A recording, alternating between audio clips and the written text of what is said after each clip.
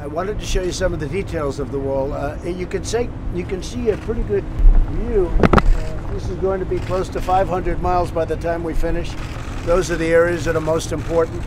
Uh, after we're completed five, that should be done pretty close to next year. Over, it'll be over 400 miles, and we think we can get it close to 500 miles by the end of next year. The wall is 30 feet high. We also have 18 foot wall. We have a combination of 30 feet and 18, depending on the area, depending on the, uh, on the importance. Uh, Tijuana is right over here. There are thousands of people over there that had been trying to get in. Uh, tremendous cooperation from Mexico, and uh, the president of Mexico has been fantastic. All of Mexico has been fantastic. Uh, as you know, right now they have 27,000 soldiers.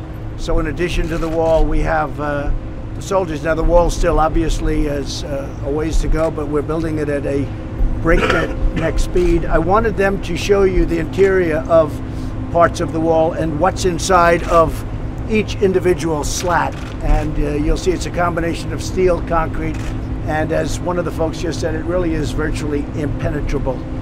Here, this goes down, the concrete goes down very deep. It's very hard to tunnel. You can't tunnel. It's actually dangerous, but at a certain point you hit rock so you can't tunnel. So we have it covered underground, we have it covered overground, and this is, as I said, this is the finest you can do. Uh, I said, let's do it uh, differently. We don't have to go 30 feet. They said, sir, if you don't go 30 feet, it won't be the same because of the climb.